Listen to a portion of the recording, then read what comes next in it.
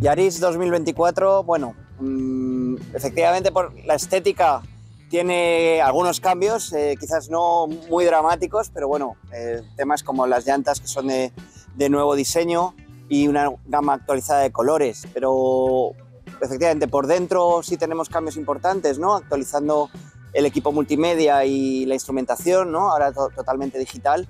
Y efectivamente lo más importante es lo que no se ve, ¿no? Una nueva mecánica un poco más potente de 130 caballos con bueno, la última actualización de nuestro sistema híbrido, eh, quinta generación, vamos por la quinta generación, y que consigue bueno, pues unas prestaciones un poco algo superiores a la, a la, otra unidad que teníamos hasta ahora, de 116 caballos, y manteniendo unos consumos igual de bajos.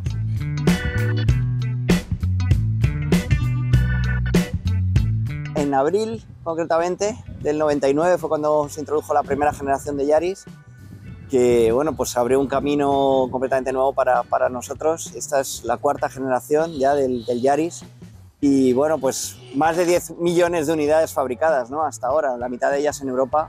Un coche que ya es muy habitual en nuestras carreteras y, y bueno, y que ahora mismo pues es uno de los, de los tres modelos más vendidos en, en España ya desde hace tres años, lo cual pues bueno, nos llena de, de orgullo. ¿no? Es un camino muy largo, hemos llegado hasta aquí pero bueno, nuestra propuesta con, eh, este Yaris 2024 creo que, está a la última, todos los aspectos más valorados por los clientes.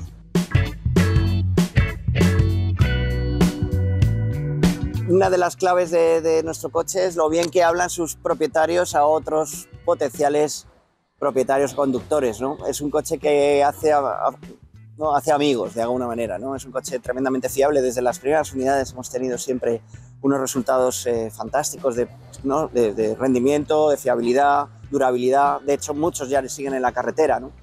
Y otro de los parámetros siempre ha sido un poco la inteligencia de la construcción. ¿no? Es un coche compacto, pero muy inteligente, soluciones inteligentes, con mucho espacio interior, con unas mecánicas que consiguen prestaciones suficientes, pero con unos consumos bajísimos, no igualados en la industria. Y bueno, pues quizás esto es lo que resume el, el éxito ¿no? de, de, este modelo en Europa. Un coche pensado, diseñado, construido para el público europeo, aunque también se vende en otras regiones del mundo, pero la región europea es la que toma el liderazgo. ¿no?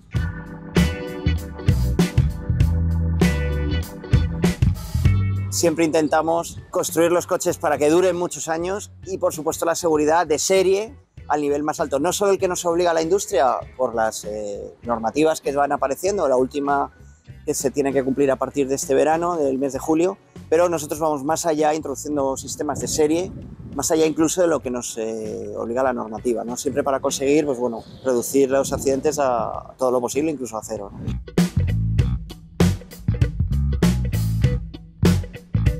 Sí, un buen año para nosotros.